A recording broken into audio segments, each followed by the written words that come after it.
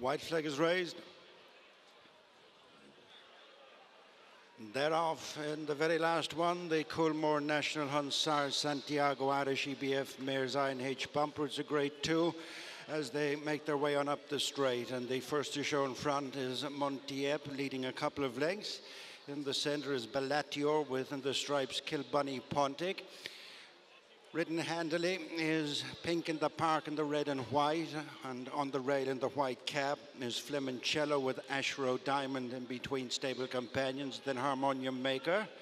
And they're followed by Mrs. Grimley and Battling Bessie and Liberty Dance the white cap, Knockenard Lady next in the dark blue hat, who's followed by Ava Grace, and next on the inside as they make the bend, Nikini a break of two to three lengths to High Stranger and Lily du Berlais and Toshi Tassie, the back marker. Mile and a half to go, heading away from the stands, and the leader is Montiep by two and a half to three lengths from Bellatior and Kilbunny Pontic.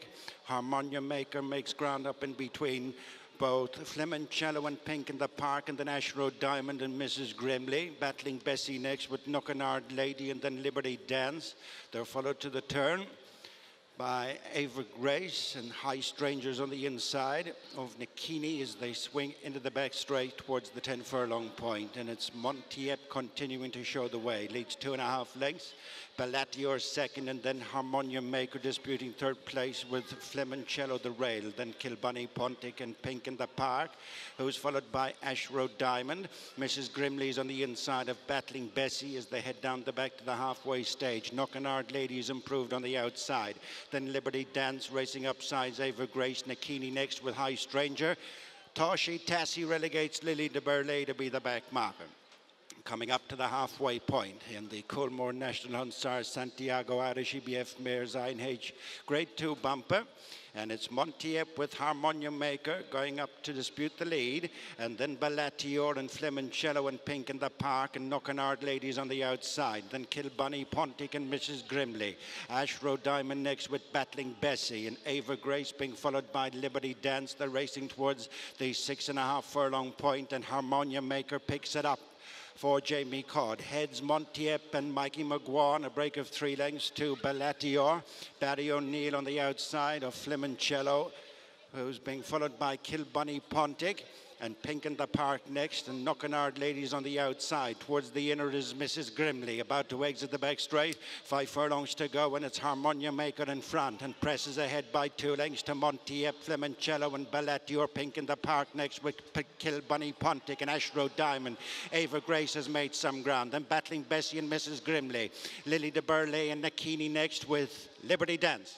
Tightening up heading inside the concluding half mile. And it's Harmonia Maker by half a length to Flemoncello, another half a length back to Bellatior.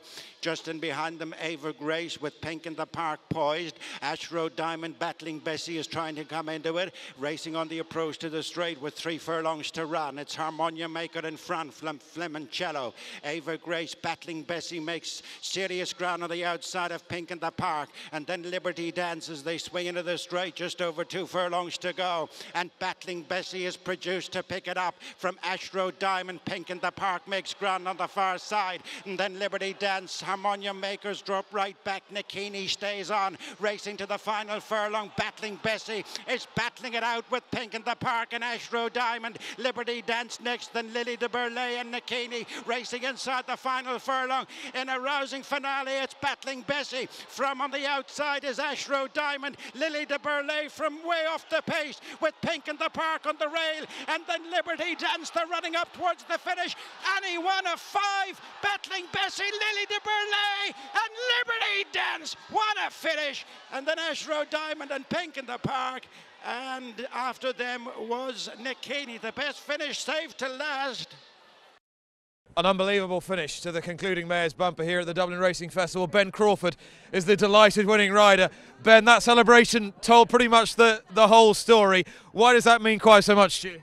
Look, sure, it's a team effort at home. Like that mare, she's a wee bit tricky she won the first day for ourselves, and Stuart he said to Simon and Isaac, he said, "Look, I think of a nice mare," and like they had the confidence in him to go and take it. A lot of people said she only won a, a Perth bumper, and it's maybe not the best bumper in the world, but you got to start somewhere. She had look, she couldn't have done it any better, and she's a wee bit tricky, and we had to be patient today and drop her out stone last.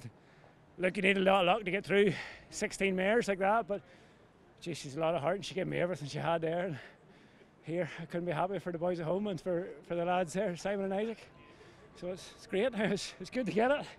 We just need a few more. And, uh, and, to be a, to be a part of a day like this, when you see the, the huge operations just absolutely dominate, to get in there amongst them all, to beat the Elliotts, the Mullins in that race, that's a that's a huge feather in the cap of everybody at your at your yard. Look, very much so. Look, we've had a lot of nice horses, but, but we're a selling yard. You know, we're producing and selling young horses on. Yeah. And look, you, you don't get your face and your name in the limelight sometimes, and like everybody at home deserves this now for sure. It's a great day. I'd say you might be able to hang on to this one. Oh, here, touch wood, touch wood. Hopefully, like, thank you. Go and weigh in before any more lunatics. Thank you.